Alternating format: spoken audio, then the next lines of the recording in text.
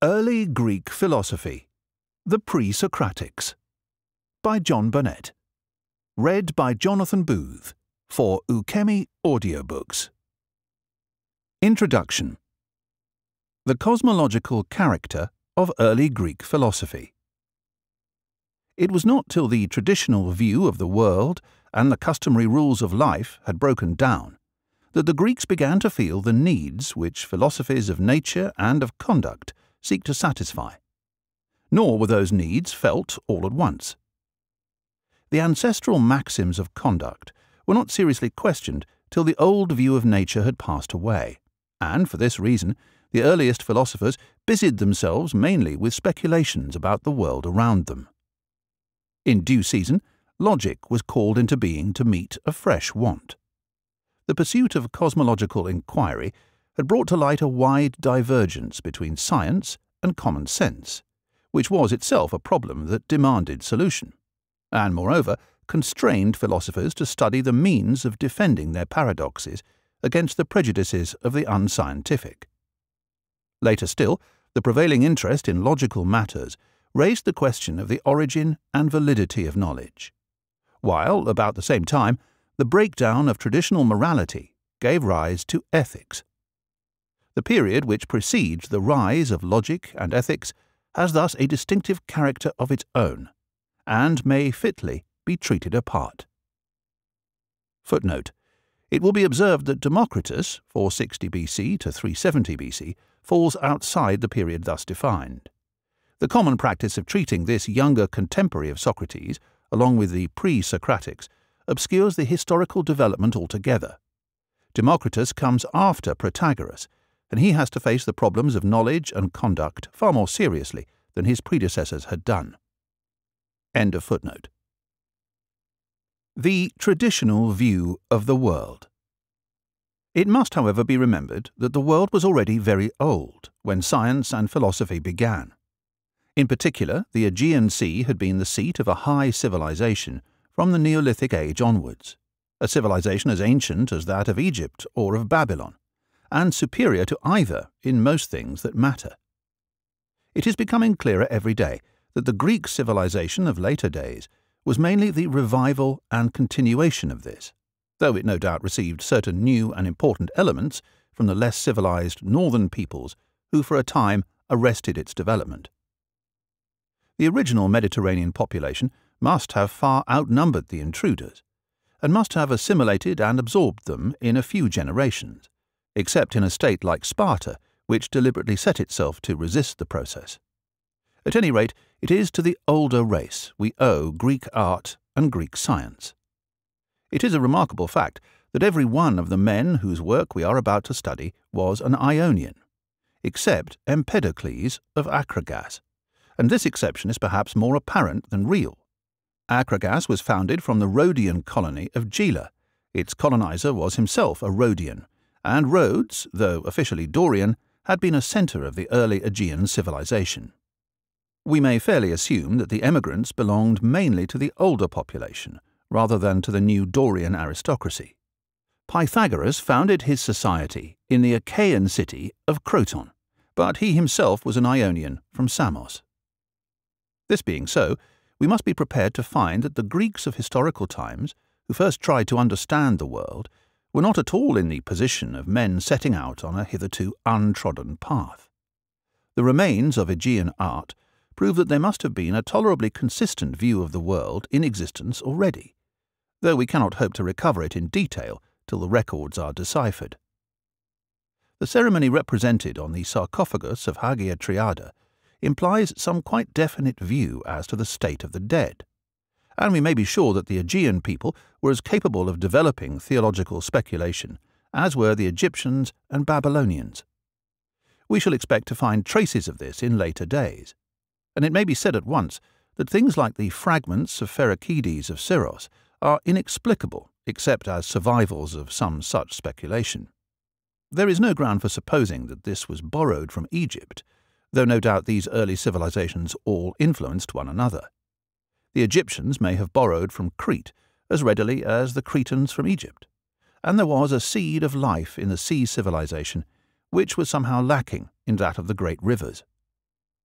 On the other hand, it is clear that the northern invaders have assisted the free development of the Greek genius by breaking up the powerful monarchies of earlier days, and above all by checking the growth of a superstition like that which ultimately stifled Egypt and Babylon. That there was once a real danger of this is suggested by certain features in the Aegean remains. On the other hand, the worship of Apollo seems to have been brought from the north by the Achaeans, and indeed what has been called the Olympian religion was, so far as we can see, derived mainly from that source. Still, the artistic form it assumes bears the stamp of the Mediterranean peoples, and it was chiefly in that form it appealed to them. It could not become oppressive to them, as the old Aegean religion might very possibly have done. It was probably due to the Achaeans that the Greeks never had a priestly class, and that may well have had something to do with the rise of free science among them. Homer. We see the working of these influences clearly in Homer. Though he doubtless belonged to the older race himself and used its language, it is for the courts of Achaean princes he sings, and the gods and heroes he celebrates are mostly Achaean. That is why we find so few traces of the traditional view of the world in the epic. The gods have become frankly human, and everything primitive is kept out of sight. There are, of course, vestiges of the early beliefs and practices, but they are exceptional. It has often been noted that Homer never speaks of the primitive custom of purification for homicide. The dead heroes are burned, not buried, as the kings of the older race were. Ghosts play hardly any part. In the Iliad, we have, to be sure, the ghost of Patroclus, in close connection with the solitary instance of human sacrifice in Homer. There is also the Nekyia in the eleventh book of the Odyssey. Such things, however, are rare, and we may fairly infer that, at least in a certain society, that of the Achaean princes for whom Homer sang, the traditional view of the world was already discredited at a comparatively early date, though it naturally emerges here and there. Hesiod. When we come to Hesiod, we seem to be in another world. We hear stories of the gods which are not only irrational but repulsive, and these are told quite seriously. Hesiod makes the Muses say, We know how to tell many false things that are like the truth, but we know too, when we will, to utter what is true. This means that he was conscious of the difference between the Homeric spirit and his own. The old light-heartedness is gone, and it is important to tell the truth about the gods. Hesiod knows, too, that he belongs to a later and a sadder time than Homer. In describing the ages of the world, he inserts a fifth age between those of bronze and iron. That is the age of the heroes, the age Homer sang of. It was better than the Bronze Age, which came before it, and far better than that which followed it, the age of iron, in which Hesiod lives. Footnote. There is great historical insight here. It was Hesiod, not our modern historians, who first pointed out that the Greek Middle Ages were a break in the normal development. End of footnote. He also feels that he is singing for another class. It is to shepherds and husbandmen of the older race he addresses himself. And the Achaean princes for whom Homer sang have become remote persons who give crooked dooms. The romance and splendour of the Achaean Middle Ages meant nothing to the common people. The primitive view of the world had never really died out among them, so it was natural for their first spokesman to assume it in his poems. That is why we find in Hesiod these old savage tales, which Homer disdained. Yet it would be wrong to see in the Theogony a mere revival of the old superstition. Hesiod could not help being affected by the new spirit, and he became a pioneer in spite of himself. The rudiments of what grew into Ionic science and history are to be found in his poems, and he really did more than anyone to hasten that decay of the old ideas which he was seeking to arrest.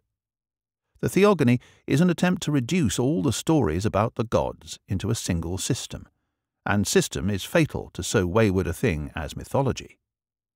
Moreover, though the spirit in which Hesiod treats his theme is that of the older race, the gods of whom he sings are for the most part those of the Achaeans.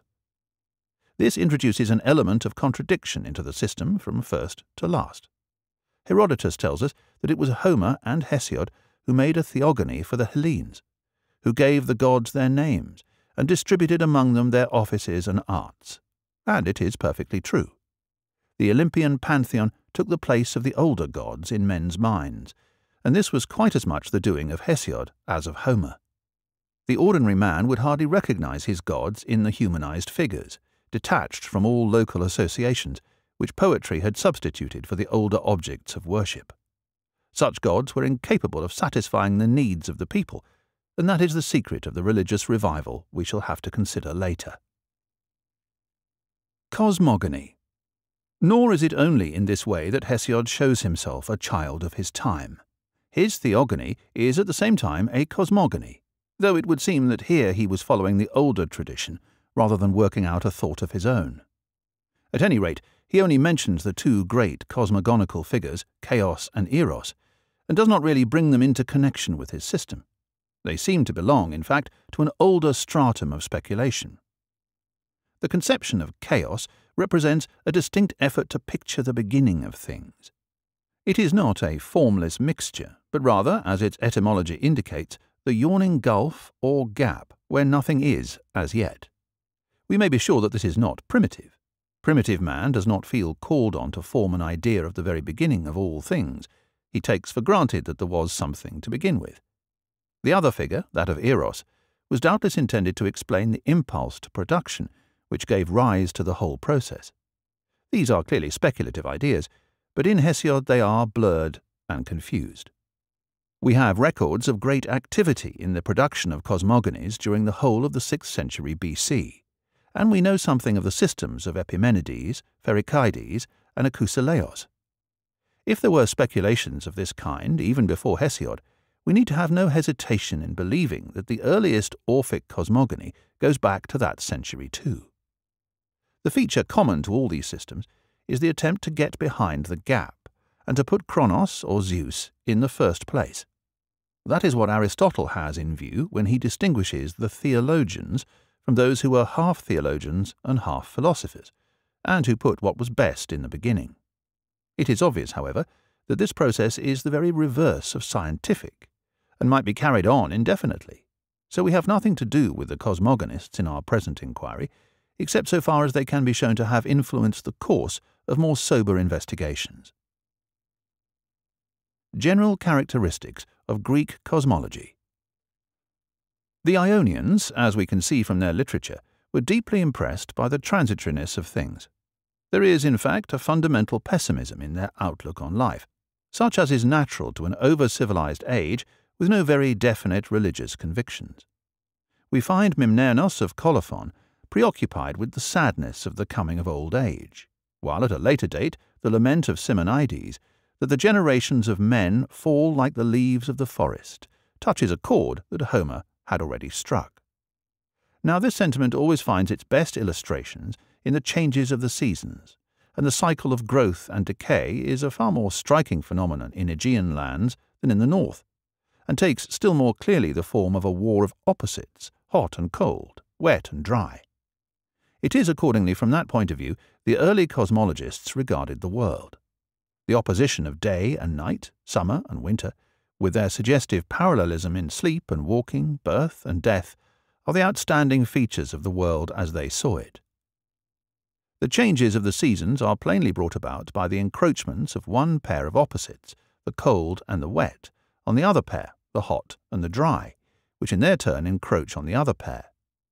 This process was naturally described in terms borrowed from human society for in early days the regularity and constancy of human life was far more clearly realized than the uniformity of nature. Man lived in a charmed circle of social law and custom, but the world around him at first seemed lawless. That is why the encroachment of one opposite on another was spoken of as injustice, and the due observance of a balance between them as justice. The later concept of good behavior is based on this notion too. It meant originally the discipline of an army, and next the ordered constitution of a state. That, however, was not enough. The earliest cosmologists could find no satisfaction in the view of the world as a perpetual contest between opposites. They felt that these must somehow have a common ground, from which they had issued, and to which they must return once more. They were in search of something more primary than the opposites. Something which persisted through all change, and ceased to exist in one form only to reappear in another. That this was really the spirit in which they entered on their quest is shown by the fact that they spoke of this something as ageless and deathless. If, as is sometimes held, their real interest had been in the process of growth and becoming, they would hardly have applied epithets so charged with poetical emotion and association to what is alone permanent in a world of change and decay. That is the true meaning of Ionian monism. Physis Now, Ionian science was introduced into Athens by Anaxagoras about the time Euripides was born, and there are sufficient traces of its influence on him. It is therefore significant that in a fragment which portrays the blessedness of a life devoted to scientific research, he uses the very epithets ageless and deathless, which Anaximander had applied to the one primary substance, and that he associates them with the term physis, nature. The passage is so important for our present purpose that I quote it in full. Blessed is whoever has a knowledge of science, neither rushing headlong at freemen, causing them to suffer or commit unjust acts, but perceiving the ordering of immortal and ageless physis, and who organized it, whence it came, and how. The practice of shameful works never sits near such. This fragment is clear evidence that in the 5th century BC the term origin was given to the everlasting something of which the world was made. That is quite in accordance with the history of the word, so far as we can make it out. Its original meaning appears to be the stuff of which anything is made, a meaning which easily passes into that of its make-up, its general character or constitution.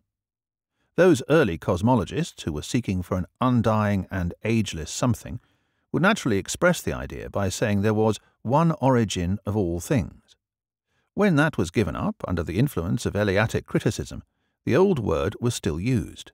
Empedocles held there were four such primitive stuffs, each with an origin of its own, while the atomists believed in an infinite number, to which they also applied the term. The Greek term for source or beginnings, which is often used in our authorities, is in this sense purely Aristotelian. It is very natural that it should have been adopted by Theophrastos and later writers, for they all start from the well-known passage of the Physics in which Aristotle classifies his predecessors according as they postulated one or more beginnings. But Plato never uses the term in this connection, and it does not occur once in the genuine fragments of the early philosophers, which would be very strange on the assumption that they employed it. Now, if this is so, we can understand at once why the Ionians called science on inquiry into nature.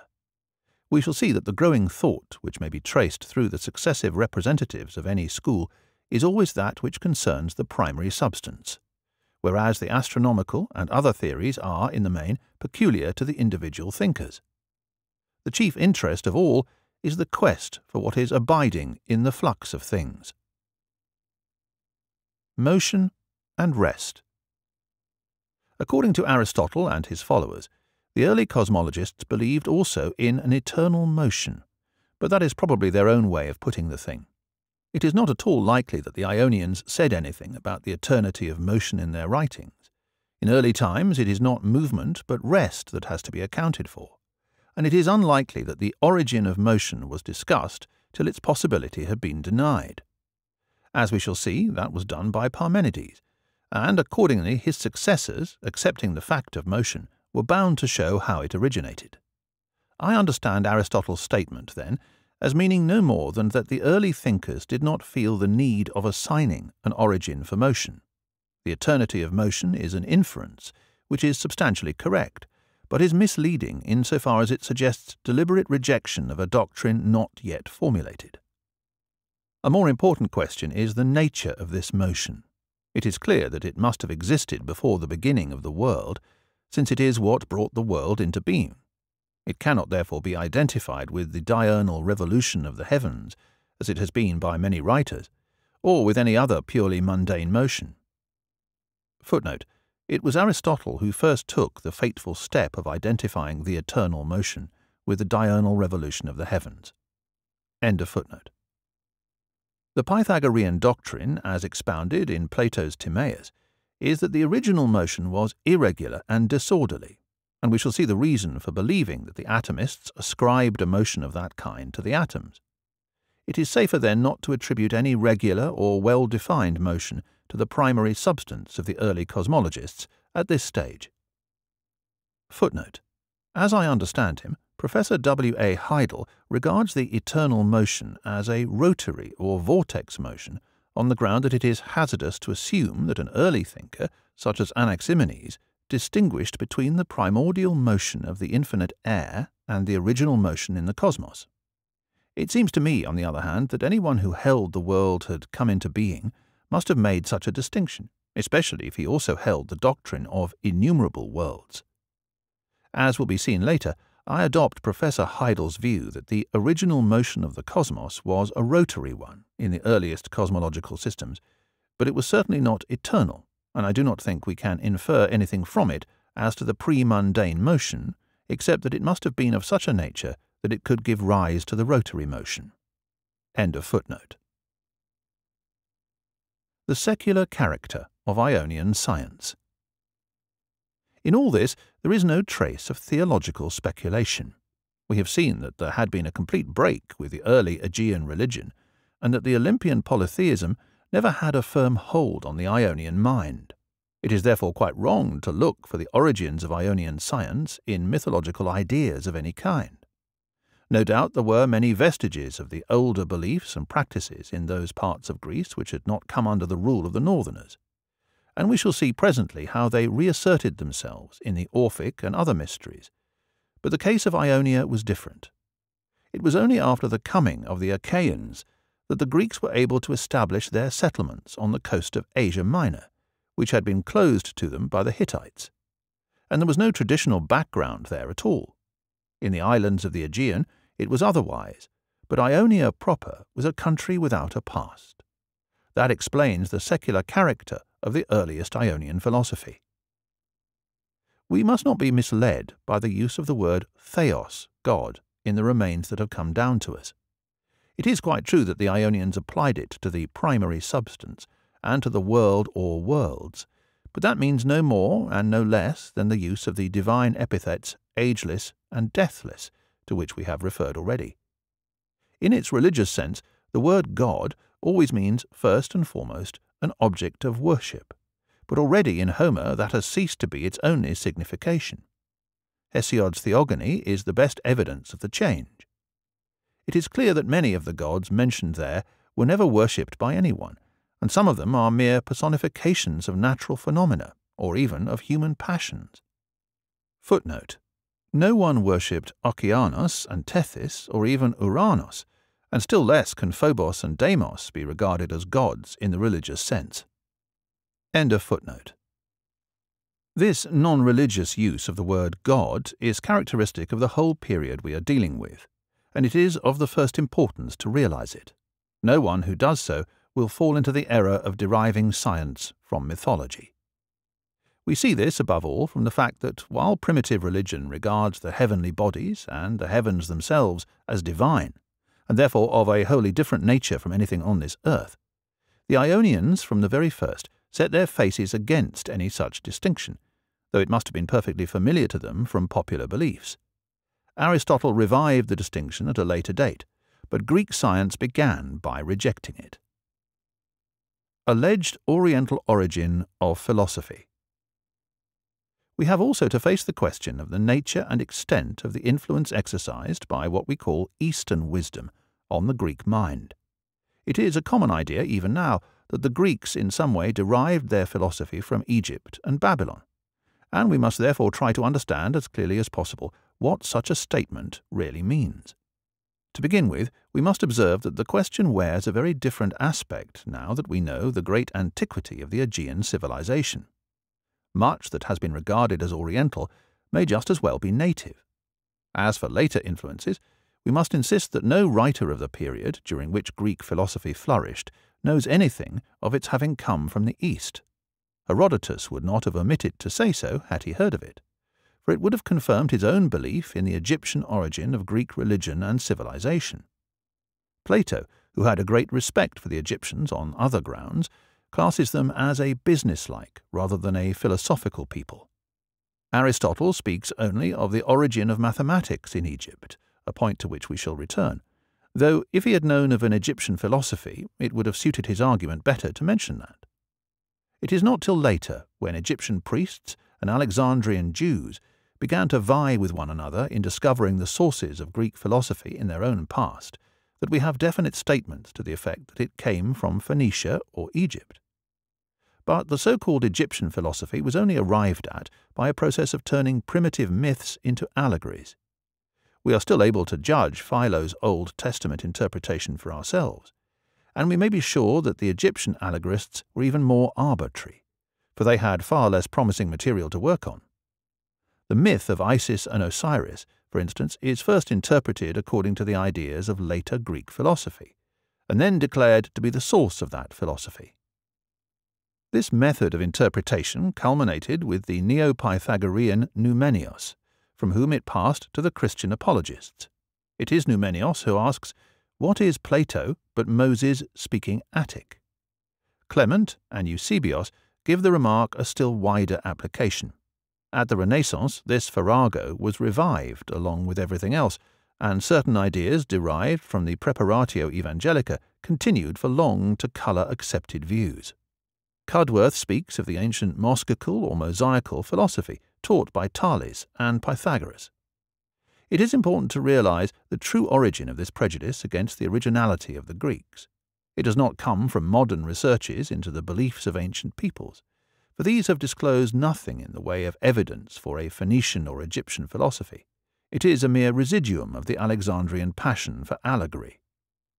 Of course, no one nowadays would rest the case for the Oriental origin of Greek philosophy on the evidence of Clement or Eusebius.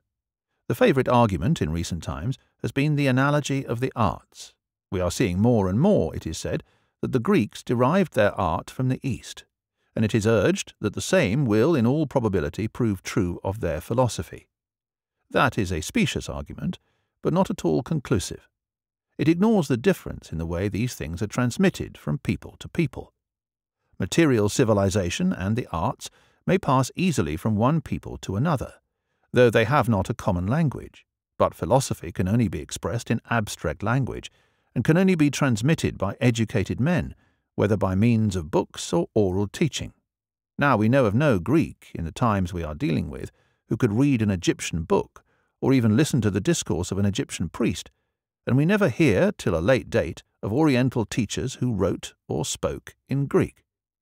The Greek traveller in Egypt would no doubt pick up a few words of Egyptian, and it is taken for granted that the priests could make themselves understood by the Greeks but they must have made use of interpreters, and it is impossible to conceive of philosophical ideas being communicated through an uneducated dragoman.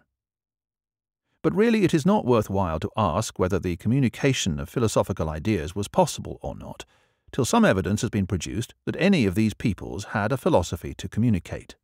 No such evidence has yet been discovered, and so far as we know, the Indians were the only ancient people, besides the Greeks, who ever had anything that deserves the name.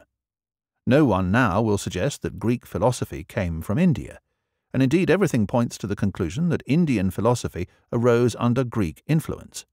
The chronology of Sanskrit literature is an extremely difficult subject, but so far as we can see, the great Indian systems are later in date than the Greek philosophies they most nearly resemble. Of course, the mysticism of the Upanishads and of Buddhism was of native growth. But though these influenced philosophy in the strict sense profoundly, they were related to it only as Hesiod and the Orphics were related to Greek scientific thought. Egyptian Mathematics It would, however, be another thing to say that Greek philosophy originated quite independently of Oriental influences.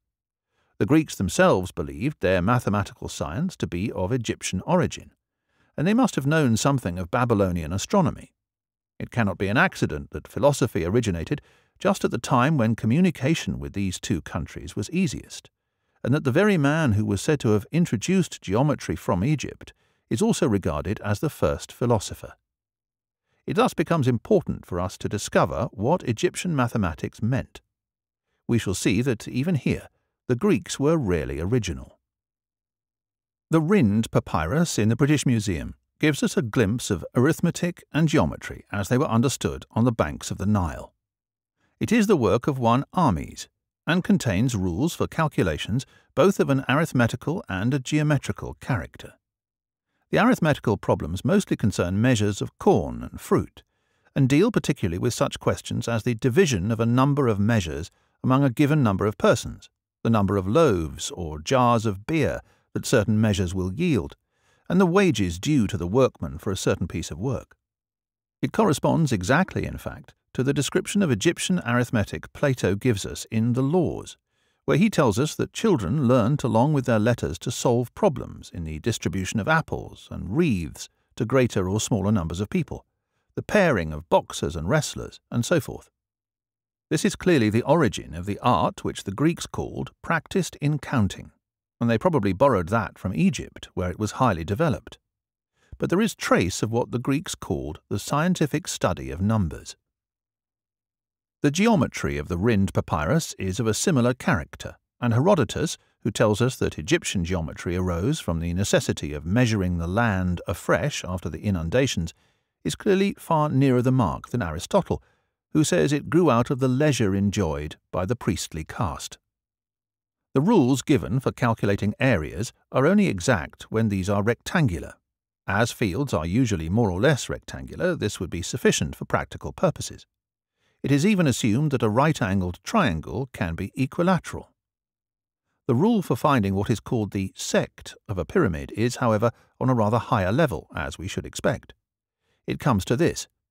Given the length across the sole of the foot, that is, the diagonal of the base, and that of the pyramus or ridge, to find a number which represents the ratio between them. This is done by dividing half the diagonal of the base by the ridge, and it is obvious that such a method might quite well be discovered empirically. It seems an anachronism to speak of elementary trigonometry in connection with a rule like this, and there is nothing to suggest that the Egyptians went any further. That the Greeks learnt as much from them is highly probable, though we shall see also that, from the very first, they generalized it so as to make use of it in measuring the distances of inaccessible objects, such as ships at sea.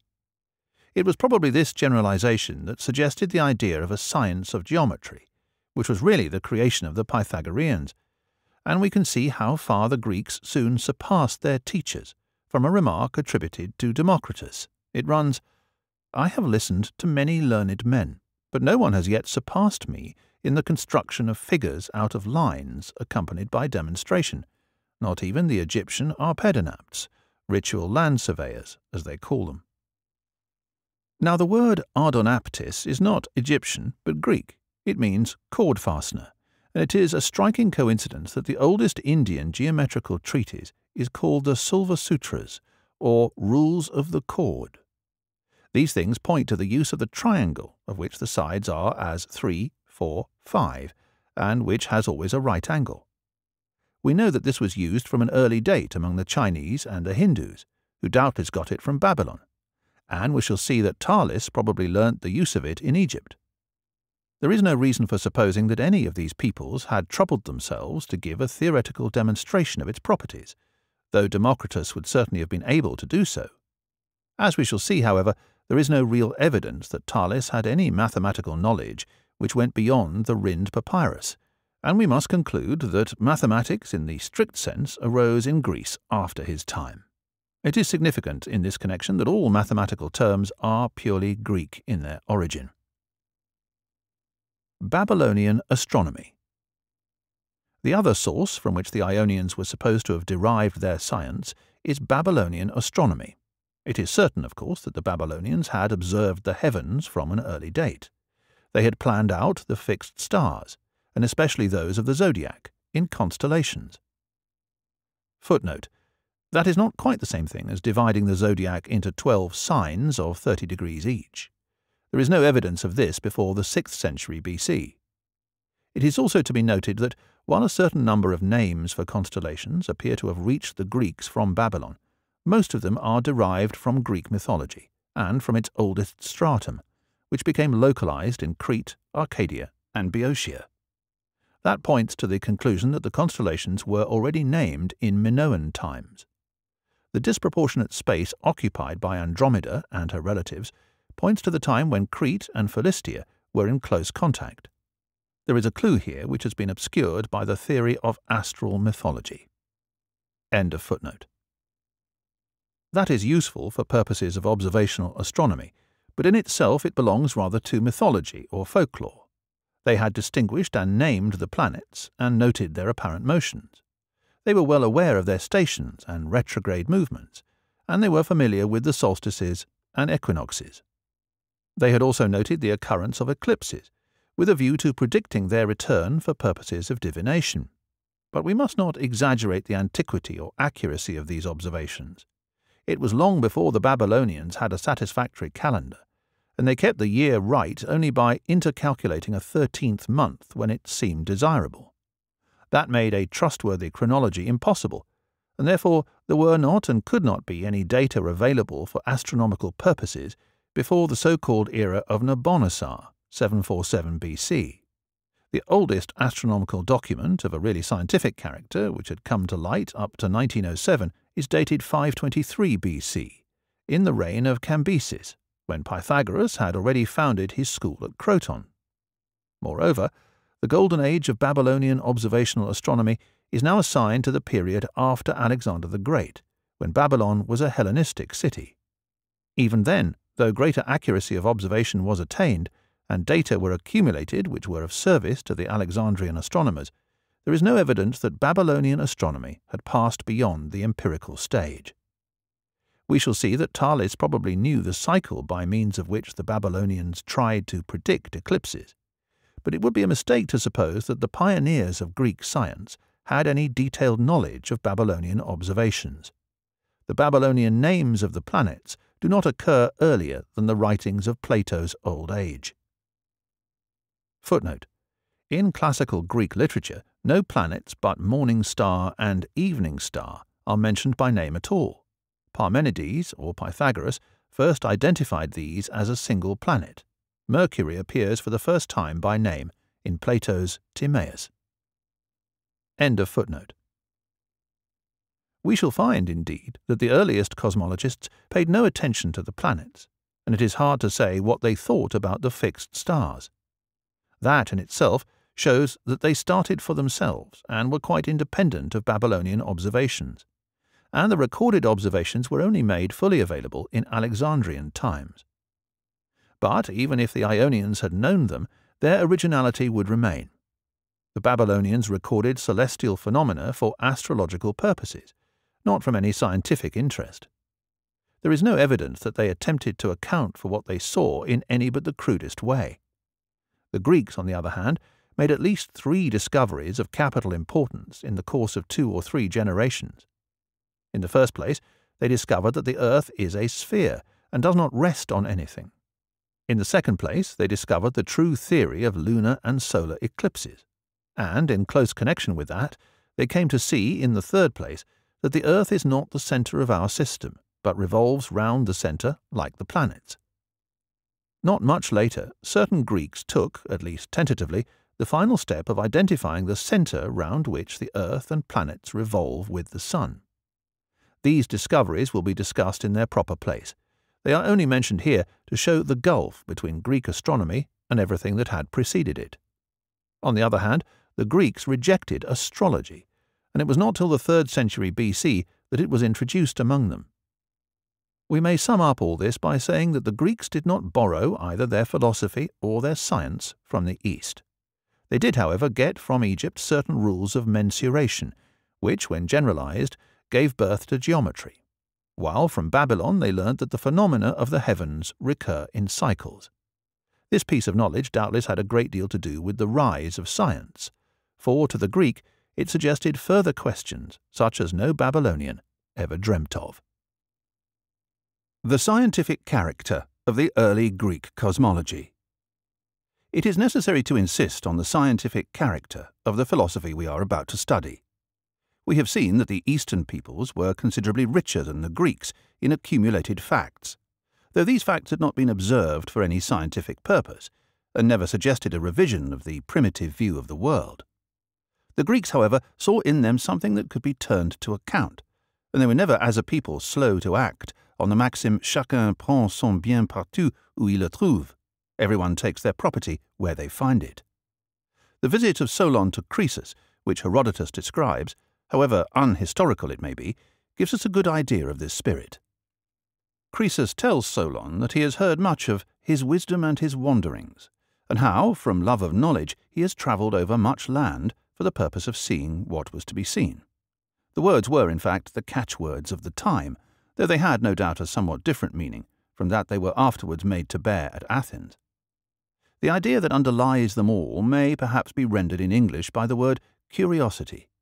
And it was just this great gift of curiosity, and the desire to see all the wonderful things, pyramids, inundations, and so forth, that were to be seen, which enabled the Ionians to pick up and turn to their own use such scraps of knowledge as they could come by among the barbarians. No sooner did an Ionian philosopher learn half a dozen geometrical propositions, and hear that the phenomena of the heavens recur in cycles, than he set to work to look for law everywhere in nature, and with an audacity almost amounting to insolence, to construct a system of the universe. We may smile at the medley of childish fancy and scientific insight which these efforts display, and sometimes we feel disposed to sympathize with the sages of the day who warned their more daring contemporaries to think the thoughts befitting man's estate. But we shall do well to remember that even now it is just such hardy anticipations of experience that make scientific progress possible, and that nearly every one of these early inquirers made some permanent addition to positive knowledge, besides opening up new views of the world in every direction. There is no justification either for the idea that Greek science was built up by more or less lucky guesswork, instead of by observation and experiment. The nature of our tradition, which mostly consists of placita, that is, of what we call results, tends, no doubt, to create this impression. We are seldom told why any early philosopher held the views he did, and the appearance of a string of opinions suggests dogmatism. There are, however, certain exceptions to the central character of the tradition, and we may reasonably suppose that if the later Greeks had been interested in the matter, there would have been many more. We shall see that Anaximander made some remarkable discoveries in marine biology, which the researches of the 19th century have confirmed. And even Xenophanes supported one of his theories by referring to the fossils and petrifactions of such widely separated places as Malta, Paros, and Syracuse. This is enough to show that the theory, so commonly held by the earlier philosophers, that the earth had been originally in a moist state, was not purely mythological in origin, but based on biological and paleontological observations. It would surely be absurd to imagine that the men who could make these observations had not the curiosity or the ability to make many others of which the memory is lost. Indeed, the idea that the Greeks were not observers is ludicrously wrong, as is proved by the anatomical accuracy of their sculpture, which bears witness to trained habits of observation. While the Hippocratean corpus contains models of scientific observation at its best. We know then that the Greeks could observe well, and we know that they were curious about the world. Is it conceivable that they did not use their powers of observation to gratify that curiosity? It is true that they had not our instruments of precision, but a great deal can be discovered by the help of very simple apparatus. It is not to be supposed that Anaximander erected his gnomon merely that the Spartans might know the seasons.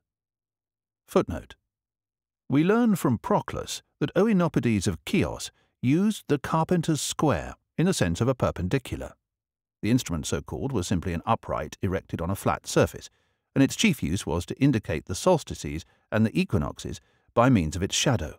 It was not a sundial, for it afforded no means of dividing the day into equal hours, though the time of day would be approximately inferred from the length of the shadow cast by it. End of footnote.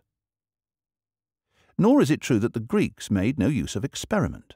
The rise of the experimental method dates from the time when the medical schools began to influence the development of philosophy. And accordingly, we find that the first recorded experiment of a modern type is that of Empedocles with the clepsydra, the water measuring instrument. We have his own account of this, and we can see how it brought him to the verge of anticipating Harvey and Torricelli. It is inconceivable that an inquisitive people should have applied the experimental method in a single case without extending it to other problems. Of course, the great difficulty for us is the geocentric hypothesis from which science inevitably started, though only to outgrow it in a surprisingly short time. So long as the Earth is supposed to be in the centre of the world, meteorology, in the later sense of the word, is necessarily identified with astronomy.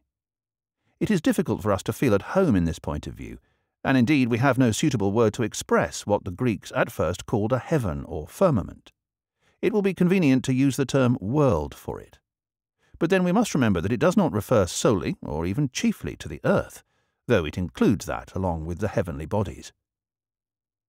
The science of the sixth century was mainly concerned, therefore, with those parts of the world that are aloft, and these include such things as clouds, rainbows, and lightning, as well as the heavenly bodies. That is how the latter came sometimes to be explained as ignited clouds, an idea which seems astonishing to us. But even that is better than to regard the sun, moon, and stars as having a different nature from the earth, and science inevitably and rightly began with the most obvious hypothesis, and it was only the thorough working out of this that could show its inadequacy. It is just because the Greeks were the first people to take the geocentric hypothesis seriously that they were able to go beyond it.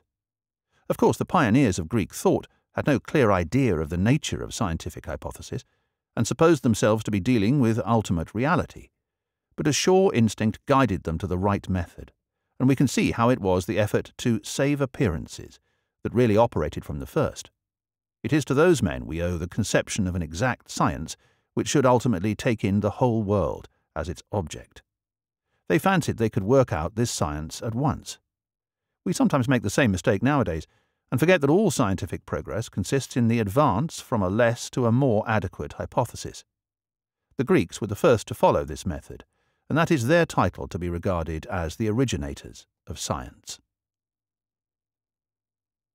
Schools of Philosophy Theophrastos, the first writer to treat the history of Greek philosophy in a systematic way, represented the early cosmologists as standing to one another in the relation of master and scholar, and as members of regular societies.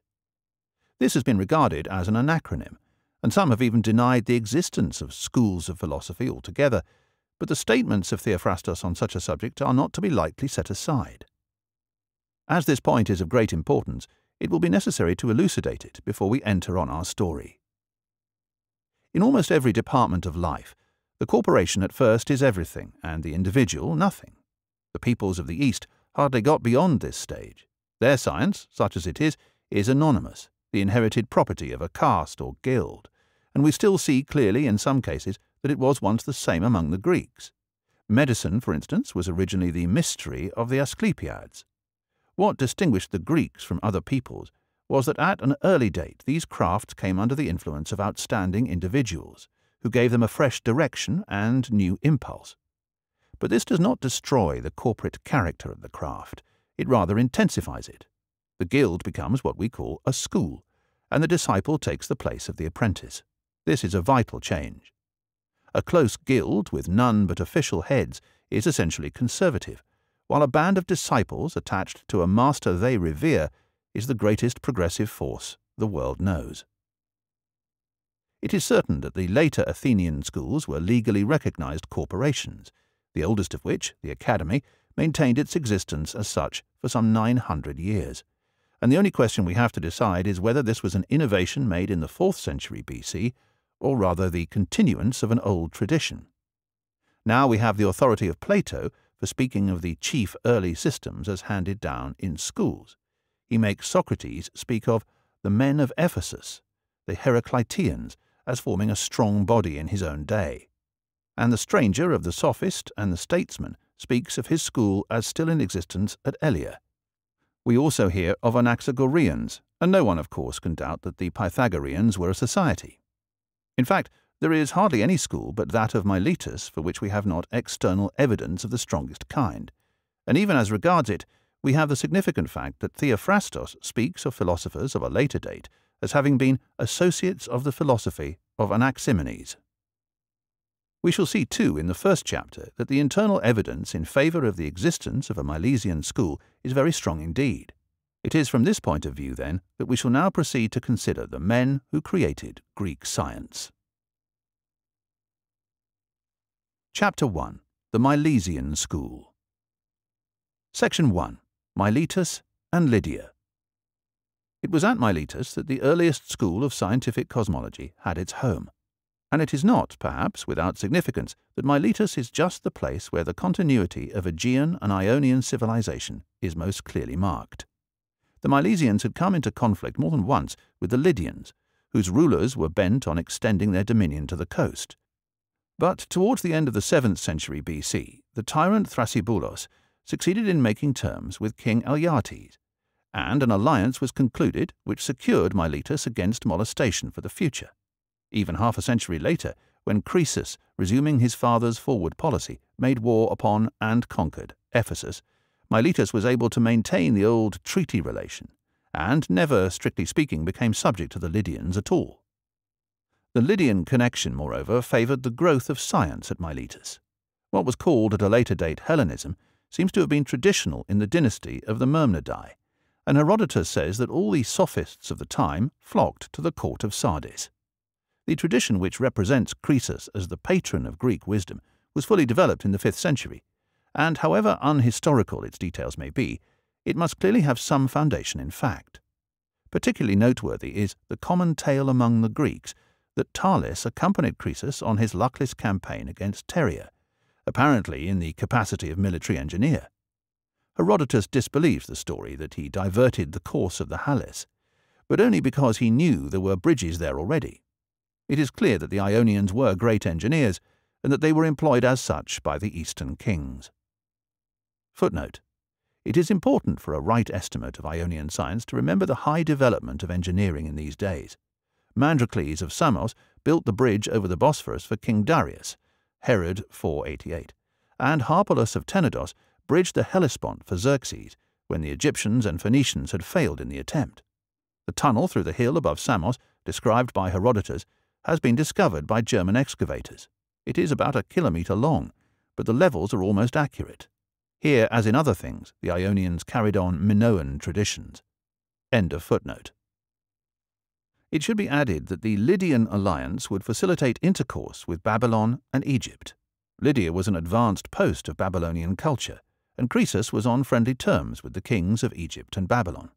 Amasis of Egypt had the same Hellenic sympathies as Croesus, and the Milesians possessed a temple of their own at Naucratis. Thales. Section 2. Origin. The founder of the Milesian school, and therefore the first man of science, was Thales, but all we can really be said to know of him comes from Herodotus, and the tale of the seven wise men was already in existence when he wrote. He says that Thales was of Phoenician descent, a statement which other writers explained by saying he belonged to a noble house descended from Cadmos and Agenor. Herodotus probably mentions the supposed descent of Thales simply because he was believed to have introduced certain developments in navigation from Phoenicia. At any rate, his father's name, Examyes, lends no support to the view that he was a Semite. It is Carian, and the Carians had been most completely assimilated by the Ionians. On the monuments we find Greek and Carian names alternating in the same families, while the name Thales is otherwise known as Cretan. There is therefore no reason to doubt that Thales was of pure Milesian descent, though he probably had Carian blood in his veins. Section 3. The eclipse foretold by Thales. The most remarkable statement Herodotus makes about Thales is that he foretold the eclipse of the sun which put an end to the war between the Lydians and the Medes. Now, he was quite ignorant of the cause of eclipses. Anaximander and his successors certainly were so, and it is incredible that the explanation should have been given and forgotten so soon. Even supposing Thales had known the cause of eclipses, such scraps of elementary geometry as he picked up in Egypt would never have enabled him to calculate one. Yet the evidence for the prediction is too strong to be rejected offhand. The testimony of Herodotus is said to have been confirmed by Xenophanes, and according to Theophrastus, Xenophanes was a disciple of Anaximander. In any case, he must have known scores of people who were able to remember what happened. The prediction of the eclipse is therefore better attested than any other fact about Thales whatsoever. Footnote. The statement that Thales predicted solstices as well as eclipses is not so absurd as has been thought. Eudemus may very well have meant that he fixed the dates of the solstices and equinoxes more accurately than had been done before, That he would do by observing the length of the shadow cast by an upright, and we shall see that popular tradition ascribed observations of the kind to him. End of footnote. Now, it is possible to predict eclipses of the moon approximately without knowing their true cause, and there is no doubt that the Babylonians actually did so. It is generally stated further that they had made out a cycle of 223 lunar months, within which eclipses of the sun and moon recurred at equal intervals of time. This, however, would not have enabled them to predict eclipses of the sun for a given spot on the Earth's surface, for these phenomena are not visible at all places where the sun is above the horizon at the time. We do not occupy a position at the centre of the Earth, and the geocentric parallax has to be taken into account.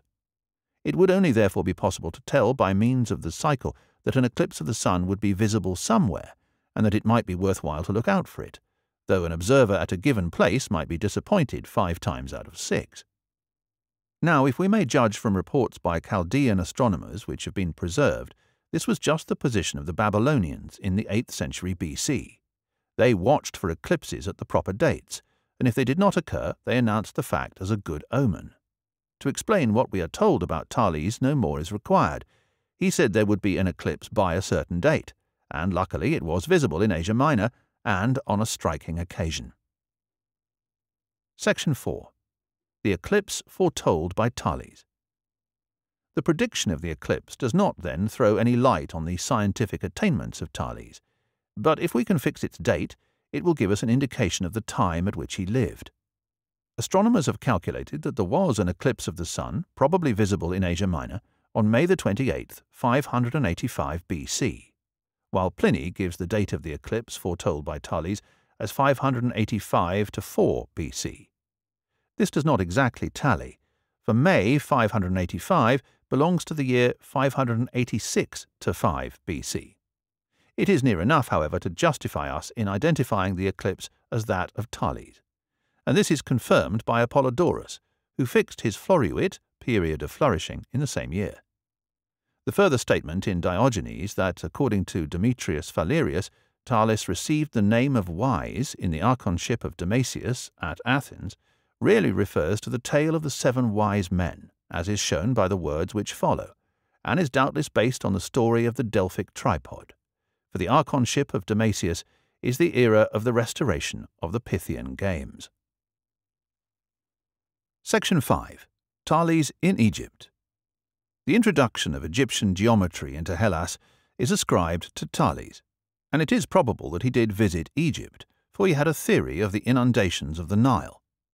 Herodotus gives three explanations of the fact that this alone of all rivers rises in summer and falls in winter.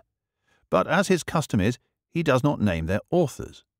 The first, however, which attributes the rise of the Nile to the Etesian winds, is ascribed to Thales in the Placita and by many later writers. Now this comes from a treatise on the rise of the Nile attributed to Aristotle and known to the Greek commentators, but extant only in a Latin epitome of the 13th century. In this, the first of the theories mentioned by Herodotus is ascribed to Thales, the second to Euthymenes of Massalia, and the third to Anaxagoras. Where did Aristotle, or whoever wrote the book, get these names? We think naturally of Hecataeus, and this conjecture is strengthened when we find that Hecataeus mentioned Euthymenes. We may conclude that Thales really was in Egypt, and perhaps that Hecataeus, in describing the Nile, took account, as was natural, of his fellow citizens' views. Section 6. Thales and Geometry As to the nature and extent of the mathematical knowledge brought back by Thales from Egypt, it must be pointed out that most writers have seriously misunderstood the character of the tradition. In his commentary, We hope you enjoyed this preview. To continue listening to this audiobook on Google Play Books, use the link in the video description.